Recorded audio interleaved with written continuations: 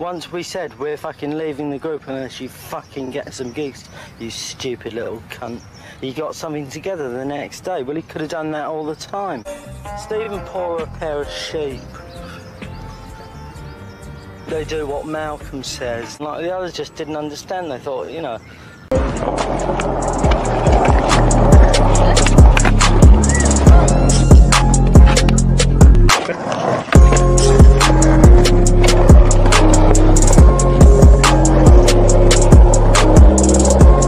Claro que isso está articulado há décadas. Há décadas existe esse gabinete do ódio contra o Olavo, porra!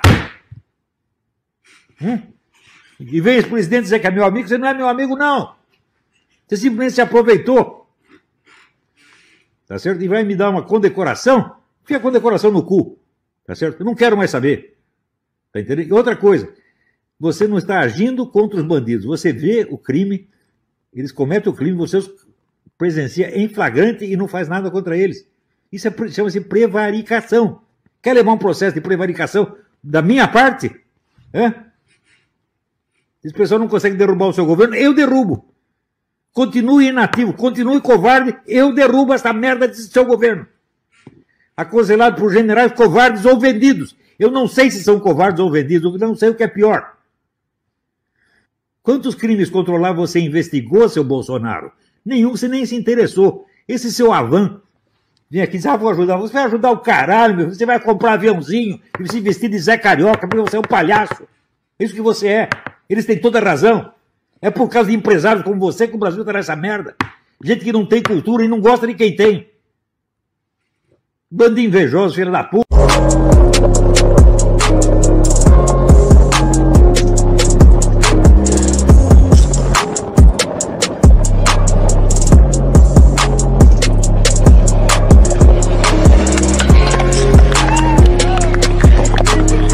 Nesse contexto, o que nós dizemos é queremos identificar os instrumentos com os quais a delinquência organizada transnacional castro-chavista disfarça de política as suas ações delinquentes. E um dos principais instrumentos que foi desenvolvido para isso é o Fórum de São Paulo. Fórum de São Paulo que, como foi, vai explicar um dos grandes analistas desse processo, desse instrumento de delinquência organizada, o professor Olavo de Carvalho vai analisar isso daqui. É um mecanismo pelo qual se utiliza, a partir do ano de 1999, foi criado muito antes, para implementar os processos de desestabilização e dar a, o chamar de políticos crimes que os que o Castro comete em Cuba, Maduro na Venezuela, Evo Morales em, na Bolívia e Ortega e Murilo na Nicarágua. É disso que se trata. Se trata de falar as coisas com clareza, desmistificar as formas, as uh, máscaras e as falsas propostas, falsas imagens com as quais se pretende manejar os sofismos, tentando fazer uh, parecer uma democracia a grupos que são delinquentes e tentar fazê-lo uh, como políticos, grupos que são, na verdade, criminosos. Por isso, convidamos o professor Olavo de Carvalho para pedir que ele fale sobre o Fórum de São Paulo e que, no contexto do Fórum de São Paulo, coloque os processos da Lava Jato, Odebrecht, corrupção e narcotráfico.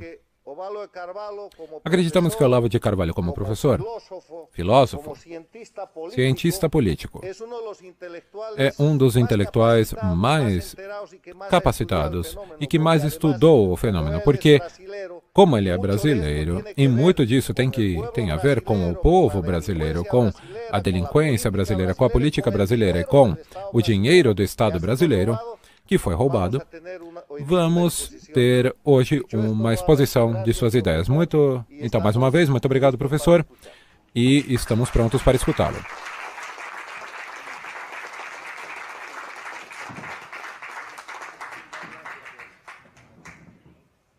É uma grande alegria estar aqui, agradeço muito este generoso convite.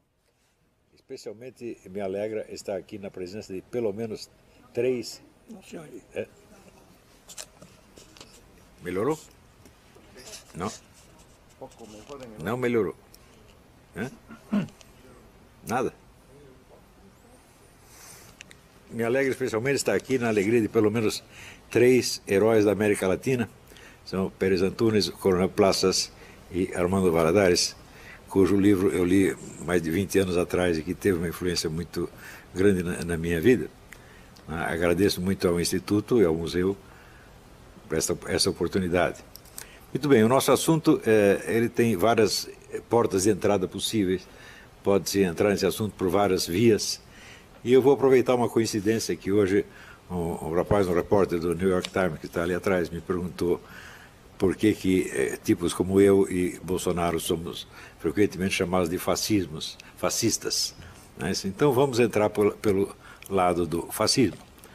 Qual é a origem do fascismo? O fascismo começa por volta de 2010, 1910, perdão, com uma discussão interna no movimento socialista italiano e com dizer, uma cisão do movimento socialista baseada na teoria enunciada por dois grandes teóricos do fascismo que se chamam Enrico Corradini e Alfredo Rocco. Alfredo Rocco, se bem me lembro, depois veio a ser ministro do governo Mussolini.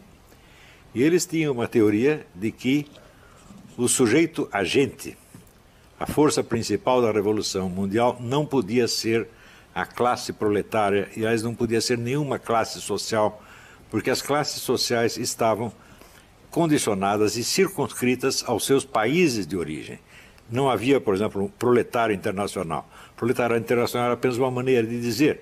Mas se o proletário italiano saísse dali e fosse para a Alemanha, ele não seria um proletário na Alemanha, ele seria um mendigo. Então, a condição de proletário é uma condição nacional.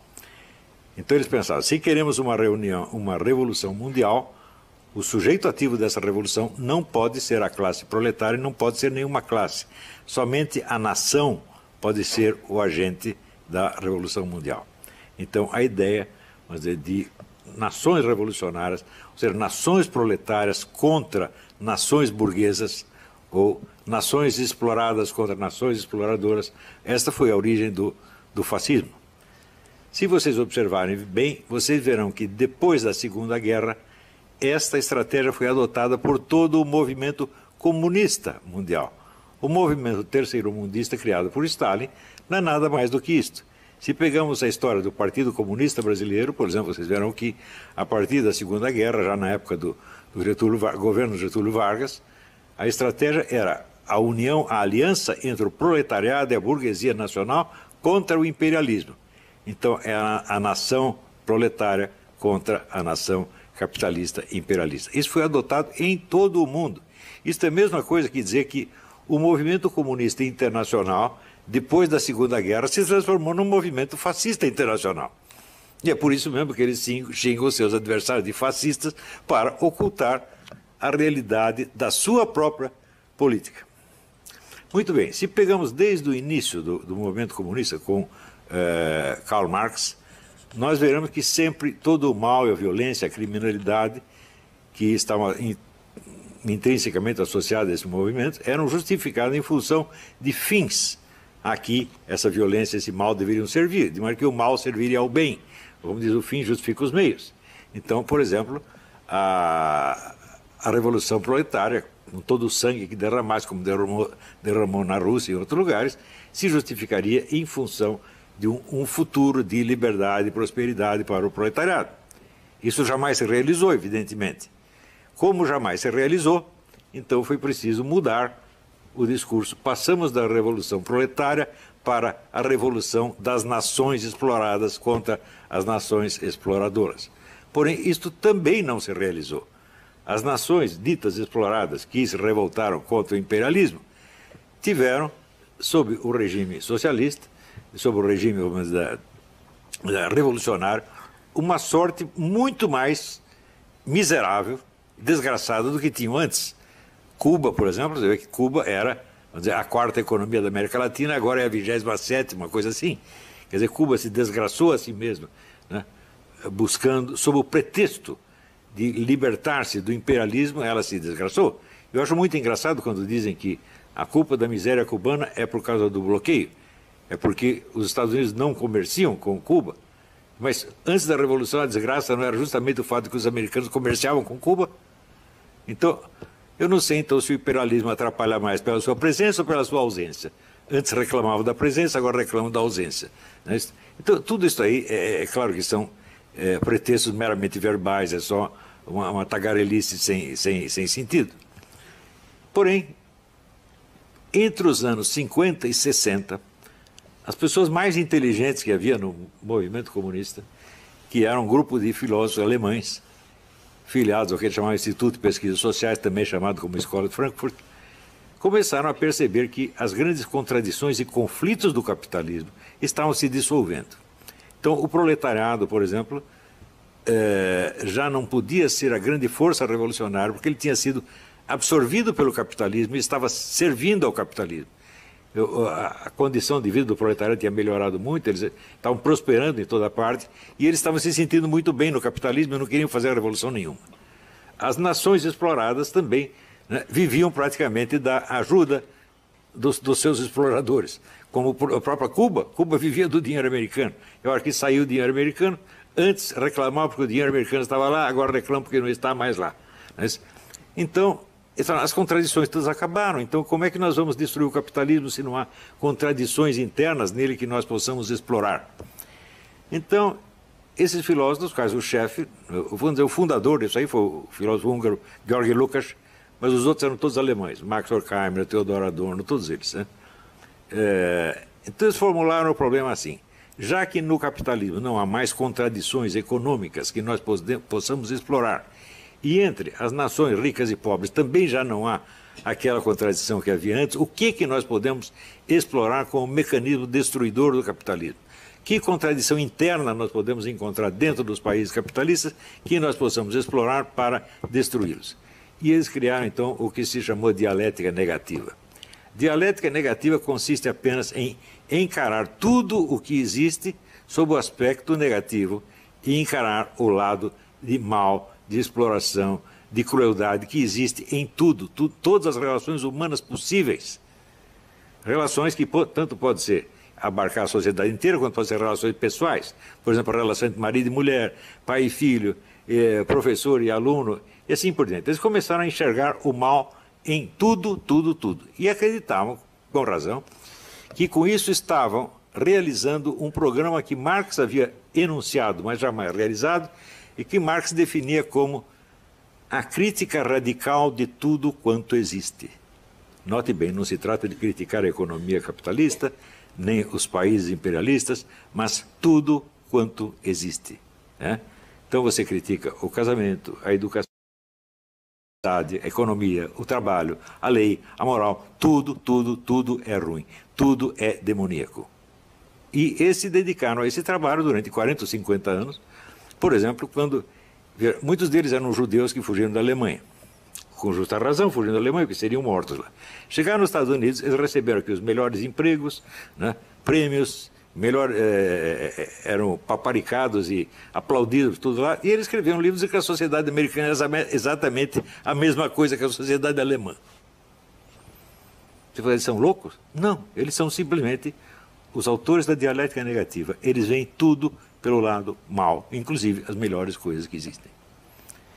Ora, quando você se torna o crítico radical de tudo quanto existe, você se colocou acima da realidade existente. Toda a realidade é má e você é o crítico que a examina, analisa e condena. Automaticamente você está colocado acima da realidade, acima do universo, não apenas acima desta sociedade onde você vive, mas acima do universo inteiro só que, um momento, que que você, em que, que você se transformou? Você virou Deus? Porque você está acima? Não. Porque Deus está acima de fato, mas Deus não cria o mundo para criticar o mundo, e sim para salvá-lo. Ou seja, você, quando se torna o crítico radical de tudo quanto existe, você se transformou no demônio. E o demônio, evidentemente, está livre de todas as obrigações humanas. O demônio só tem direitos, e o direito dele é fazer o mal contra aquilo que é mal. Como tudo é mal, ele pode fazer o mal contra tudo e ele jamais será condenado e nem acusado. Veja, isto quer dizer que esta política esquerdista hoje, ela tem sobre o seu público, especialmente o público jovem, um tipo de atrativo que é completamente diferente da que tinha antes. Antes tratava-se de fazer o mal em nome de um bem. Agora não precisa mais o bem. Agora, o mal é em si mesmo uma superioridade. Você, tão logo você aderiu a esta política, você está acima da humanidade. Você, não, você jamais é submetido a exame. Você é o examinador, você é o julgador e você é o carrasco que vai destruir tudo. E você jamais será examinado. Vejam, aconteceu um fenômeno, um fato singular, muito significativo. Após ter jogado milhões de jovens contra seus pais, contra seus professores, contra as leis, contra a moral, contra tudo, tudo, tudo, tudo, tudo. Um dia o professor Teodoro Adorno teve o desprazer de ver os alunos da faculdade invadirem a sua sala e começarem a quebrar tudo. E aí ele ficou, não, peraí, peraí, aí já é dialética negativa demais. Isso aí não pode. Então, isso quer dizer, o dialético negativo, o acusador universal, ele está acima de todas as acusações. Ele não pode ser acusado, ele não pode ser sequer analisado. Ele está é o tipo invisível que vê tudo. Ele é o olho que tudo vê, para usar um antigo simbolismo é, esotérico. Ele é o olho que tudo vê e ele jamais é visto. É por isso que o pessoal da direita, você perguntar assim, quantos livros de direita você leu destruindo, por exemplo, a filosofia do Teodoro Adorno? Nenhum. Quantos livros de direita destruindo a filosofia de Georg Lucas? Nenhum toda a bibliografia direitista que existe critica o socialismo, critica o marxismo, critica vários programas políticos, mas nunca vai à profundidade da filosofia da dialética negativa, nunca. E por isso esta dialética negativa ela sempre sobrevive e pode se refazer e se reconstruir depois das piores derrotas. Então isso quer dizer que enquanto esta filosofia da escola de Frankfurt não for totalmente destruída, ela vai se renovar e vai reconstruir o movimento comunista milhões de vezes. Isso nunca acaba. Isso é indestrutível. Veja, a destruição não é destrutível. É? A destruição vive apenas de destruir. Ou seja, nós podemos dizer que o pessoal da escola de Frankfurt descobriu o segredo da vida eterna. Eles podem viver eternamente. É só viver da destruição e jamais propor nada positivo quando propor alguma coisa, propõe sob o nome de positivo algo negativo. Por exemplo, operar crianças de 5 anos, um menino de 5 anos que diz que é menina, você já manda operá-lo. Ela corta o órgão sexual dele e pronto, virou menino. Pode haver algo de bom nisso, é claro que isso é apenas destruição. Você não sabe o que vai ser desse menino mais tarde. Você não sabe se ele vai querer o seu órgão sexual de volta. Mas não precisa saber. É? Como é a destruição, e a destruição é sempre positiva, vamos em frente. E assim por diante. Quando você propõe. Um momentinho, deixa eu tomar uma água.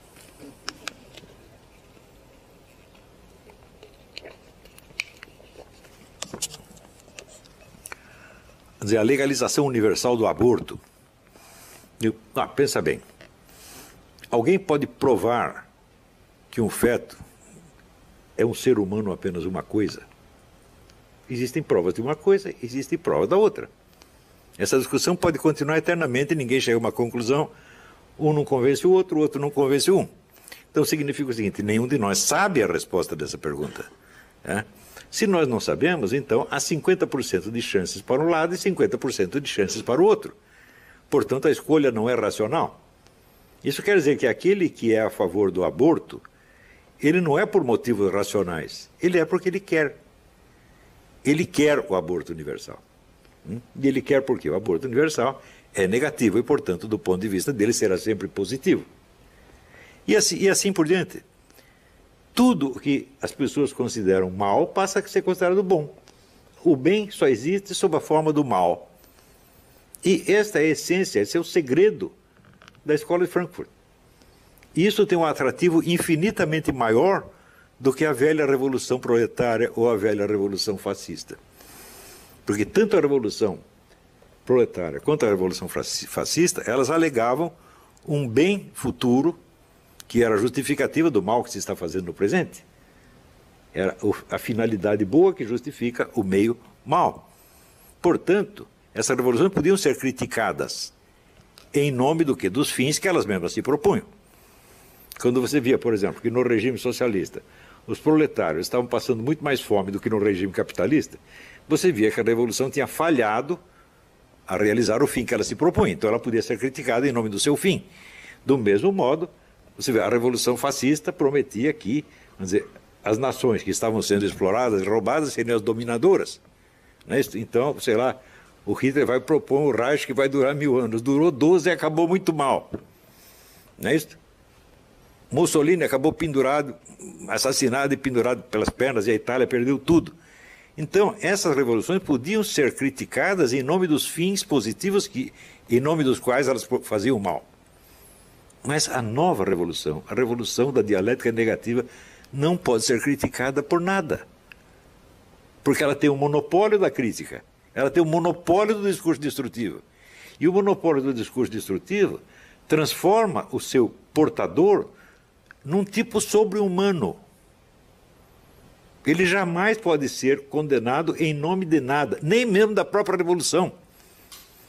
Você vê que os antigos comunistas ainda tinham a possibilidade de ter que fazer uma autocrítica. Nós erramos em tal ponto agora. Agora não há mais erro, meu Deus do céu.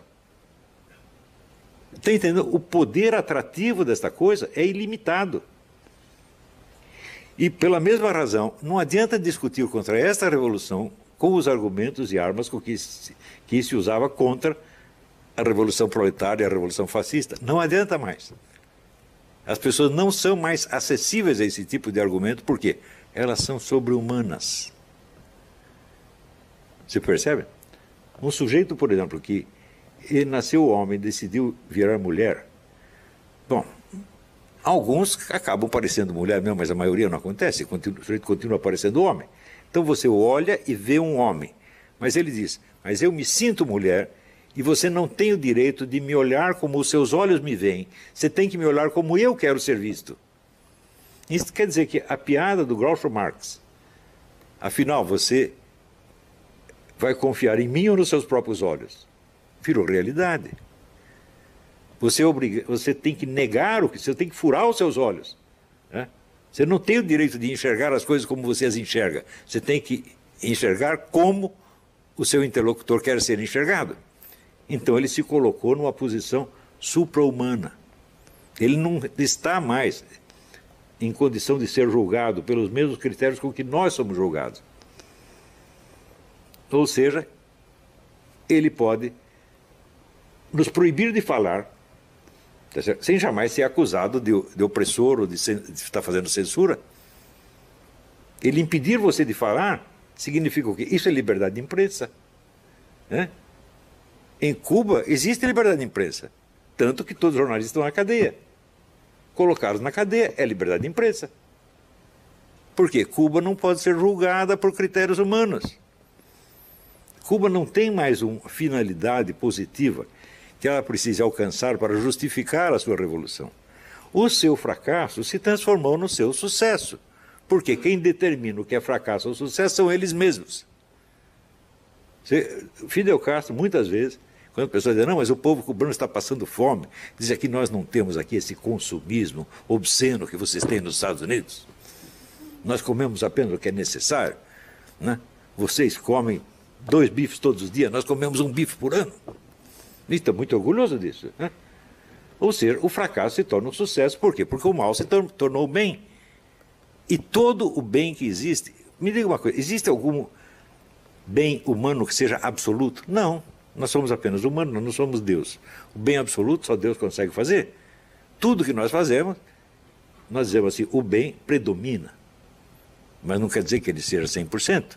Ele é, digamos, 90%, 80%. E nós nos satisfazemos com isso. Mas eles, onde houver 10% de mal, eles vão dizer que é tudo mal. E esse pequeno mal, ele está presente em tudo. Então, é, é tipo de, vamos dizer, falácia filosófica que se enuncia da maneira, da maneira seguinte: tudo é tal coisa. Por exemplo, se você disser tudo é energia, eu digo, bom, existe algum fenômeno onde a energia esteja ausente? Não, ela tem que estar presente em tudo. Ou seja, tudo é sexo. Existe alguma ação humana que não tem nenhum elemento sexual? Fala, bom, pelo menos o agente vai ter que ser o homem ou mulher, uma terceira coisa. Então o sexo estará presente. É, ou, ou, tudo é a lei da gravidade. Bom, a lei da gravidade jamais vai estar ausente. Então, todo fator que está presente em todos os fenômenos não pode ser causa de nenhum deles.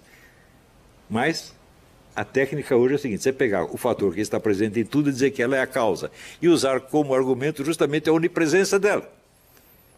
É claro que é uma, É uma falácia filosófica imperdoável, falácia lógica ridícula, grotesca. Mas isso convence as pessoas. É então,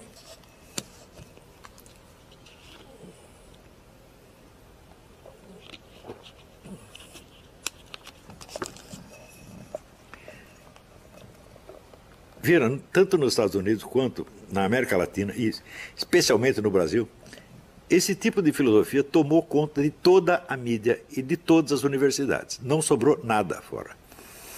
No Brasil, eu assisti esse fenômeno porque, a partir dos anos 60, logo após a ditadura militar, os comunistas, vendo que tinham sido derrotados, expulsos do campo eleitoral político, decidiram usar a estratégia do Antônio Gramsci, que era da, da Revolução Cultural. Fazer a Revolução Cultural primeiro, a Revolução Política depois. Então, tem que tomar a mídia, as editoras, as universidades, etc, etc, lentamente, devagarinho e sem dizer que é propaganda socialista, porque o objetivo do Antônio Gramsci ele mesmo definiu, definiu assim: nós vamos fazer com que todos sejam socialistas sem saber.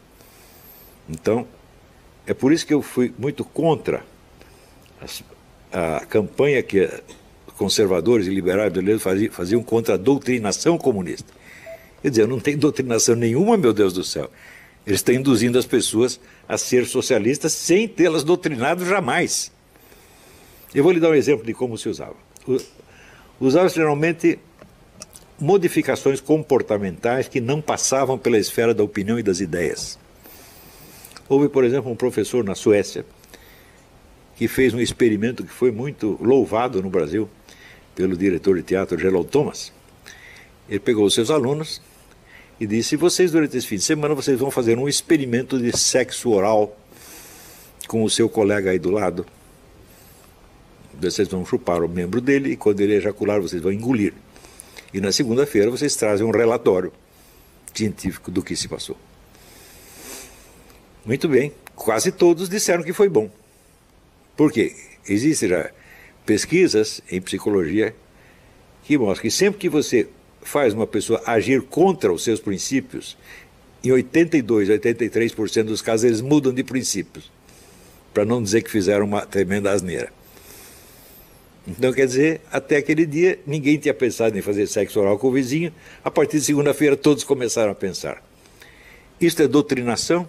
Não, o professor não fez doutrina nenhuma, não os convenceu de nada, apenas sugeriu que fizesse uma experiência inocentemente e é assim que se faz. No livro, é, há um livro do Pascal Bernardin, que se chama. Pascal Bernardin é um professor de ginásio francês. O livro chama-se chama Maquiavel Pedagogo. E ele mostra o número dessas técnicas de manipulação comportamental que são usadas. Nenhuma delas parece propaganda de maneira alguma. Existem vários truques ali. Um deles chama-se pé na porta.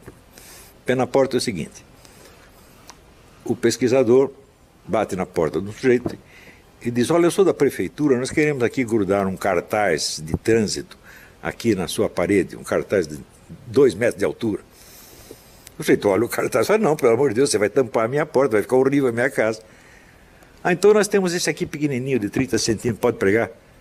90% dos casos todo mundo concordava. Então você pede uma coisa mais difícil, que ninguém vai dar, e daí você pede outra mais fácil, todo mundo cede imediatamente. Isso é muito usado nas escolas. Você sugere algo, os alunos dizem não, você respeita a opinião deles.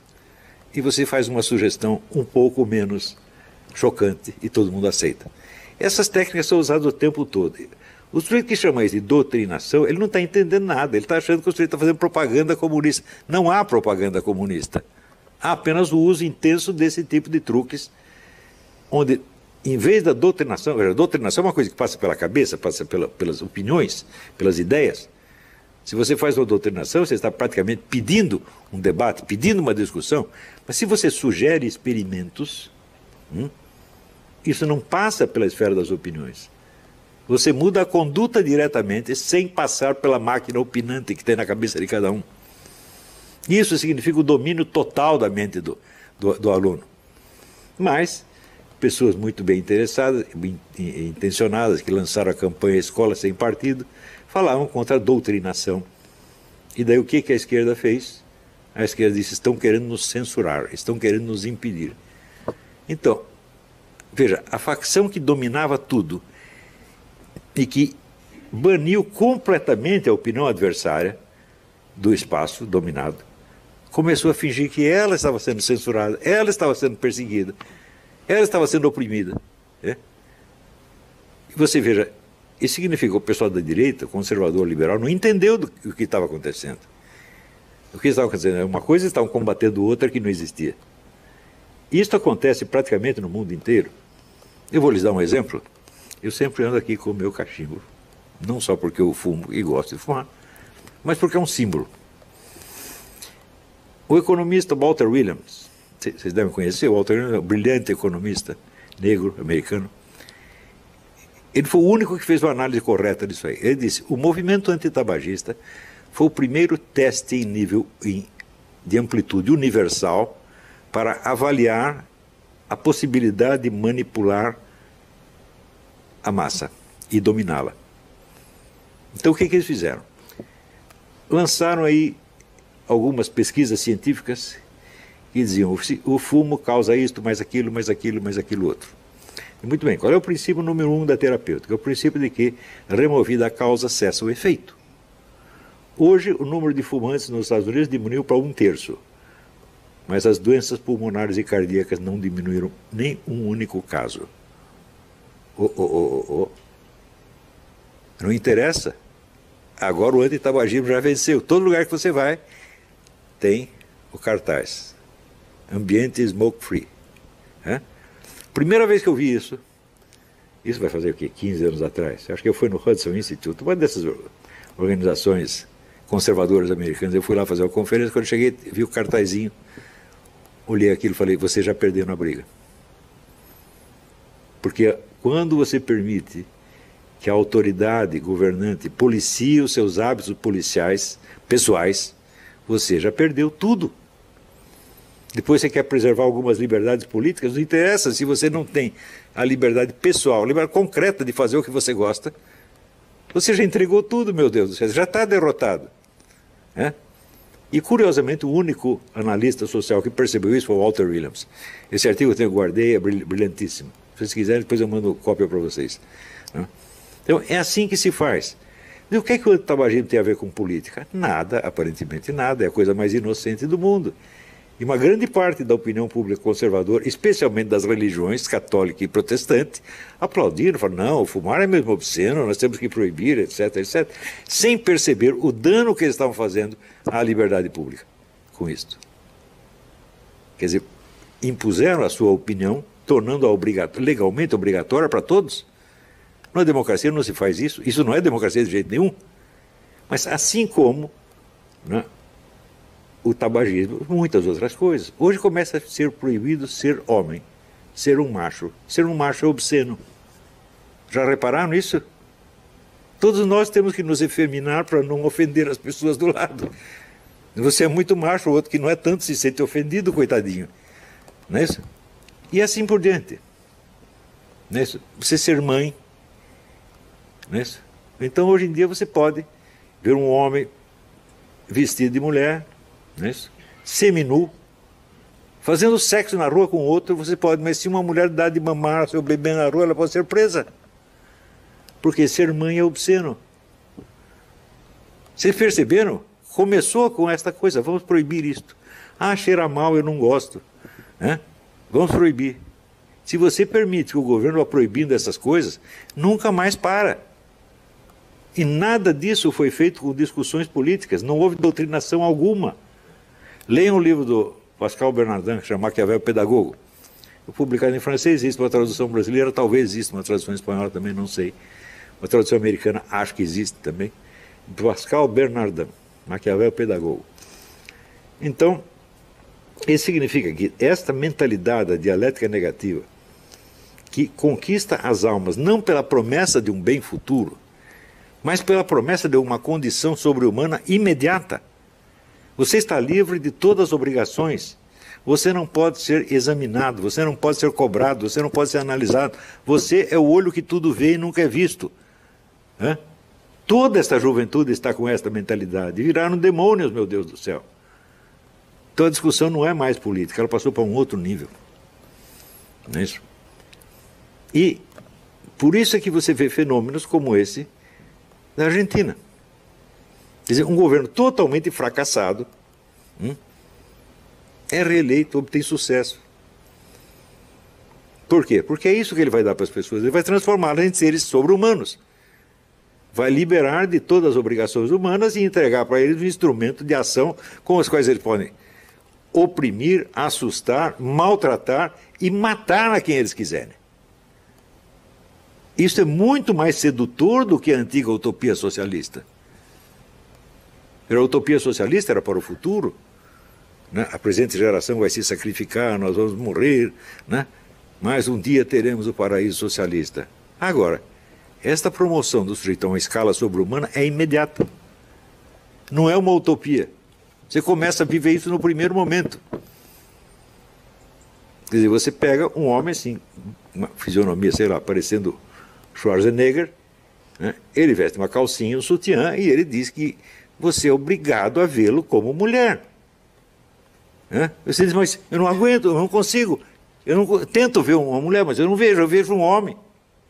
Ah, você é um criminoso, você vai para cadeia. É isso que eles estão fazendo, gente. E nós estamos aceitando essa brincadeira.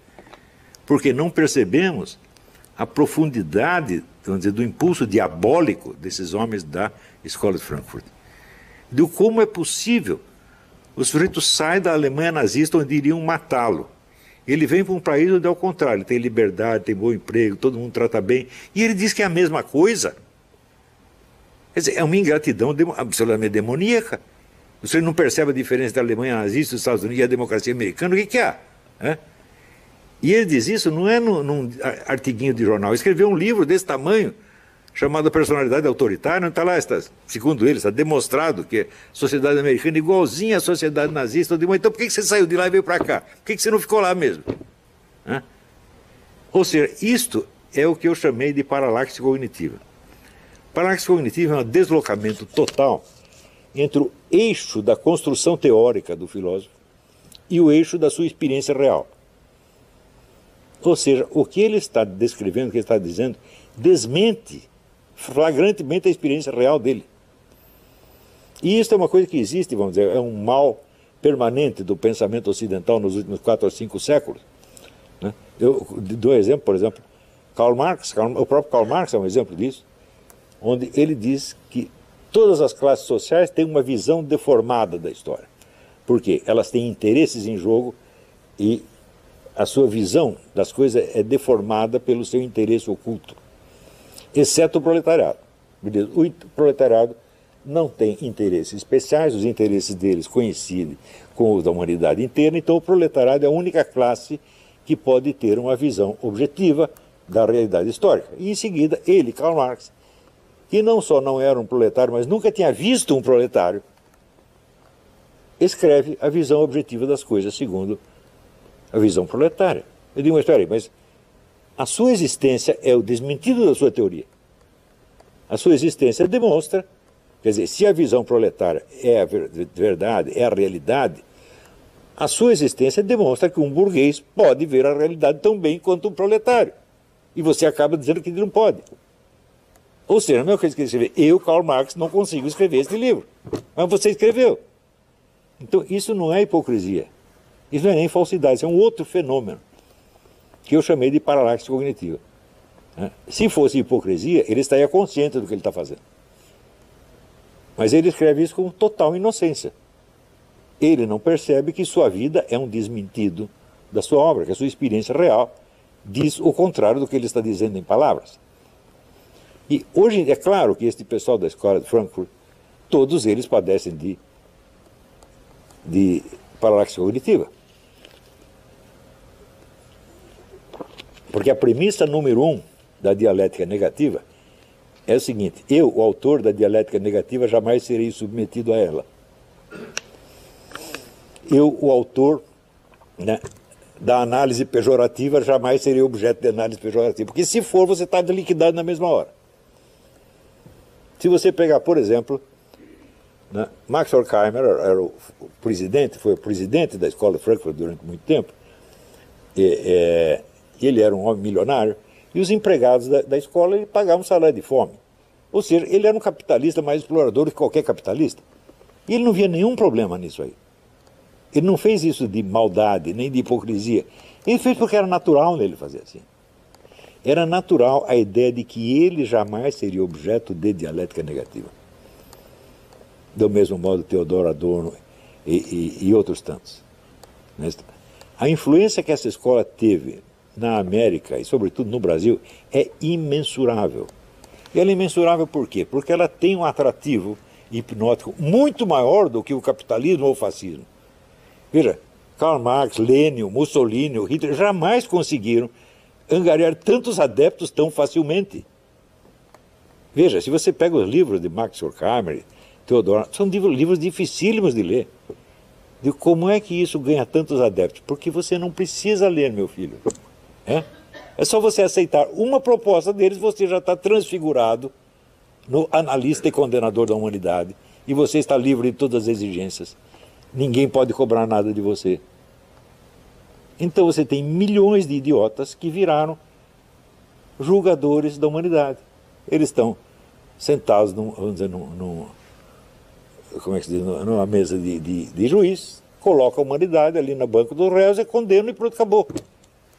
E ninguém se lembra de fazer o mesmo com eles. Por quê? Porque a tradição de análise, tradição de discussão dos liberais e conservadores vem do mundo anglo-saxônico. E eles entendem tudo como se fosse uma disputa entre o Partido Conservador e o Partido Trabalhista Britânico. Os dois sentados no parlamento, cada um do seu lado, discutindo educadamente, de vez em quando um fazendo umas piadinhas sobre o outro, e tudo não passa disso.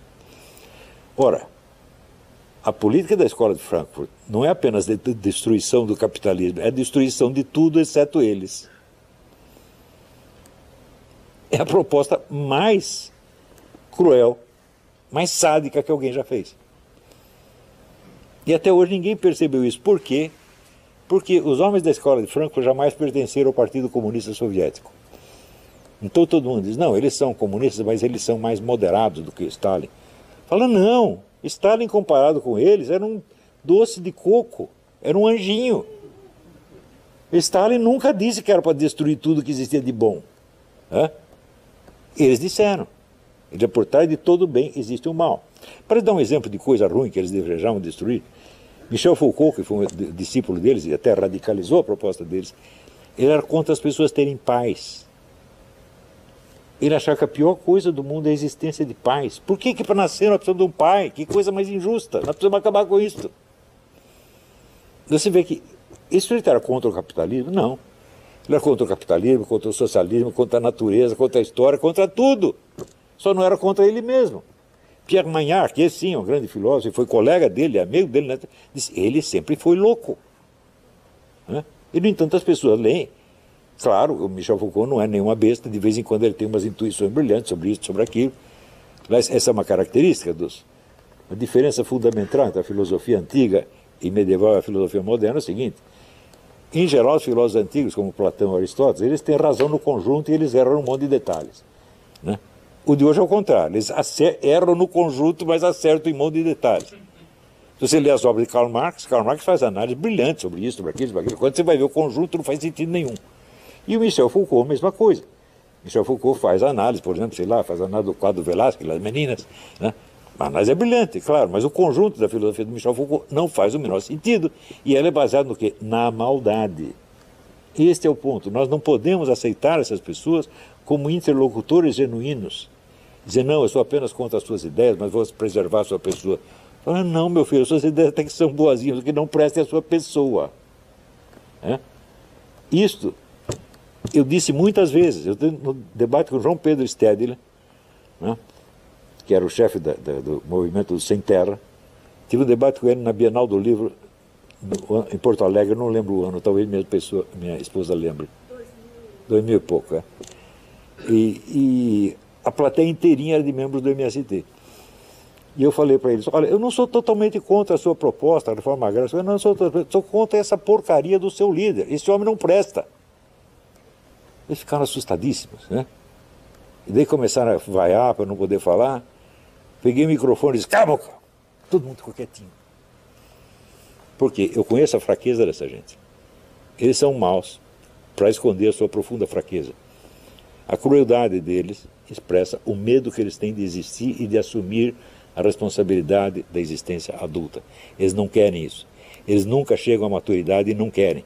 Eles querem continuar brincando de que eles são os julgadores da humanidade. Todo o Foro São Paulo é baseado nisso e por isso ele faz sucesso. E por isso, quantas derrotas ele sofra politicamente, ele vai se refazer. Então, o professor Sanches tem toda a razão. Nós não podemos ser os antagonistas do Foro de São Paulo. Nós temos que destruir o Foro de São Paulo. Destruir para que isso nunca mais se levante, para que ninguém. Veja, hoje em dia o nazismo não é proibido. É, o comunismo também tem que ser. O Foro São Paulo também tem que ser. Isso, isso não é política, isso é crime. O sujeito chega, ah, nós temos que matar todos os judeus. Isso é política? Não, isso não é política, isso é crime. Nós não podemos. Ah, vamos discutir aqui educadamente. Devemos matar os judeuzinhos, sim ou não? Você acha que, tem sentido uma discussão dessa? Não tem nada. Cala a boca, burro, põe na cadeia, cala, tampa sua boca uma rolha. Isso se não condenar a morte logo. Nós não podemos aceitar mais a existência dessas coisas. Não podemos aceitar vamos dizer, a ideologia criminosa como se fosse uma proposta política. Isso não é uma proposta política. Isso é psicopatia. Isso é crime. Então, esta aí é a minha conclusão. Muito obrigado pela sua atenção.